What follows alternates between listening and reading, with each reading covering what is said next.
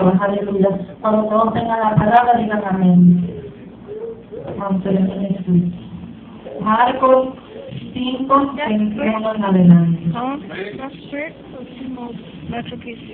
Mi alma se alaba la palabra que lee en el nombre del Padre, del Hijo y del Espíritu Santo. Amén. Pasando otra vez Jesús en una barca a la, a la otra orilla se reunió alrededor de él una gran multitud y él estaba junto al mar. Y vino uno de los principales de la sinagoga llamado Jairo y luego que le dio se postró a sus pies.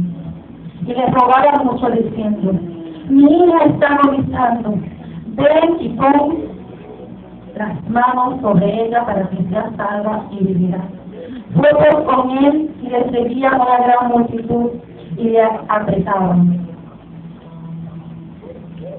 Pero una mujer que desde hacía hace 12 años padecía de flujo de sangre y había sufrido mucho, de mucho, y había sufrido de muchos grandes médicos y gastado todo lo que tenía y nada había aprovechado antes, antes le iba a bien. Cuando yo de Jesús, vino por detrás entre la multitud y tocó su manto. Porque decía, si tocar solamente su mano se salva. Y enseguida la fuente de su sangre se secó y sintió en el cuerpo que estaba sana de aquel azote.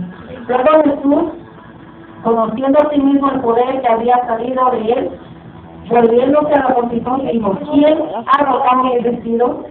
Sus discípulos le dijeron, ves que la multitud se aprieta y dice, ¿quién me ha tocado? Pero él miraba alrededor para ver quién había hecho esto. Entonces la mujer teniendo y temblando sabiendo lo que ella había sido hecho, vino y se postró delante de él y le dijo toda la verdad. Y él le dijo, hija, tu fe te ha hecho salva, ve en paz y queda sana de nosotros. Mientras él aún hablaba, vinieron de casa del principal de la sinagoga diciendo, tu hija ha muerto, ¿para qué molestar al maestro? Pero Jesús luego oyó lo que decía, dijo al principal de la sinagoga, no temas, cree solamente.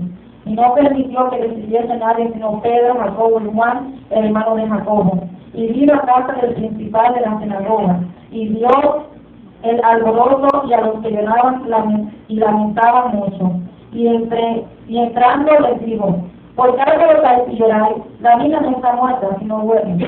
Y se burlaban de él. Mas él, estando fuera todos, tomó al padre a la madre de la niña, y a los que estaban con él, y entró donde estaba la niña. Y tomando la mano de la niña le dijo, Talita conmigo.